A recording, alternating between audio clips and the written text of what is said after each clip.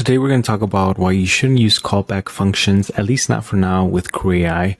So originally the topic of this video was going to be showing you how you could use these callback functions. And all a callback function is in AI is basically as your task, once your task finishes with whatever you tell, tell it to do, at the end you have this field called callback where at the end of this task, you can get those results and you can do something with them, right?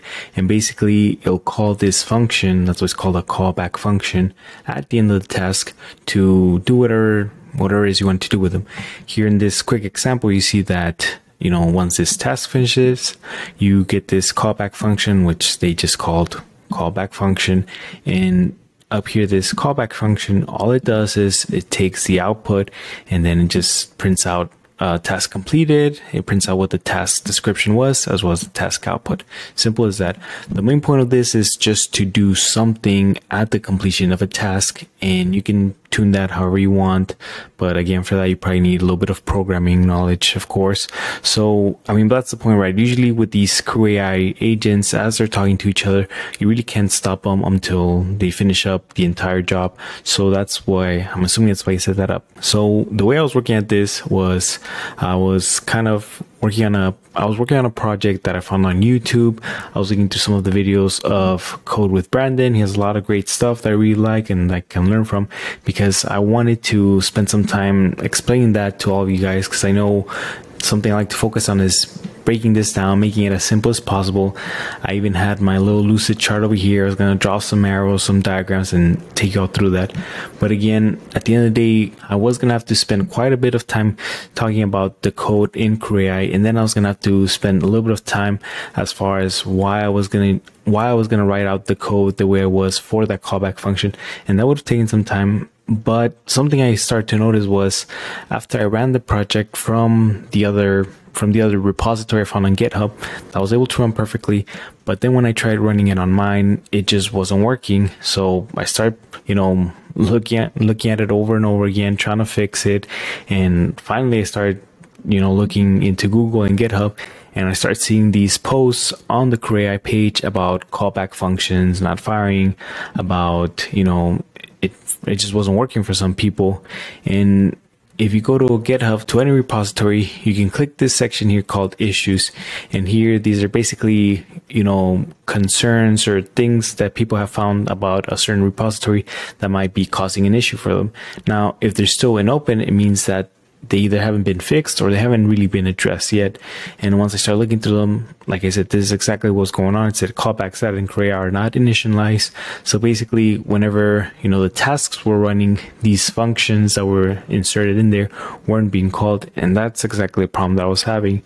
And the reason why I saw that it was it was working for other projects is not mine was I started to see that on those other projects they were running on older versions of CrewAI while on mine I had set it to the newest one. Now I think for somebody that may not have you know had too much experience working with these kind of projects, that might have been very tedious.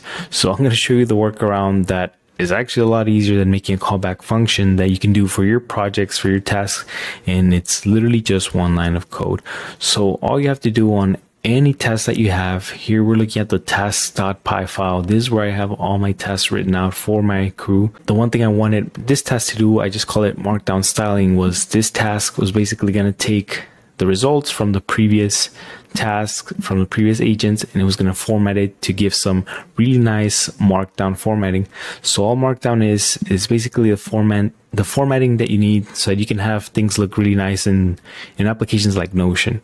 So all you have to do literally is just write this line it's just output underscore file and then equals to whatever you want to call your file name so at the end of this task, all that's going to happen is it's going to take your results, which you usually see in here anyway, and it's going to output them into a file. And as you can see out here, that's what it populated, formatted.md. And all these tasks right here are, you know, these little asterisks that's what makes it nice in notion so let me just show you real quick so again we take this file we're gonna copy it and we're gonna paste it into a notion document right here and there you have it you have your output from from your CrewAI project with the nice headlinings the nice bolding and again very very nice and organized with its bulleted list. So at this point, you can just do whatever you want with this document. You want to send it on an email, you want to share with people, whatever you want. That's already pretty much formatted, I mean, ready to go, right? So that's pretty much it for this video. Again, I just wanted to share that with you, that really neat feature that you have on Crew. So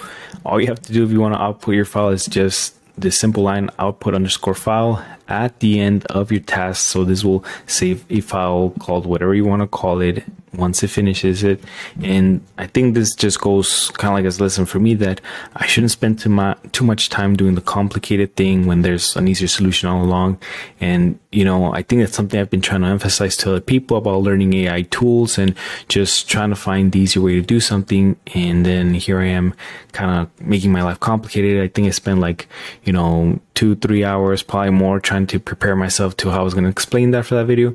And at the end of the day, there was a way easier solution that was, you know, easier for me and it's definitely going to be easier for you guys. But just like everyone else, guys, I'm still learning. I also really want to thank all of you for the positive feedback that I've been getting in the comments, in the Discord channel, as well as with the one-on-ones that I've had with some of you guys. Again, if there's something you have a question about, something that you want more information on as far as how you can apply AI or CrewAI to your business or to other process that you have, feel free to join join my Discord, join my Facebook group, and message me.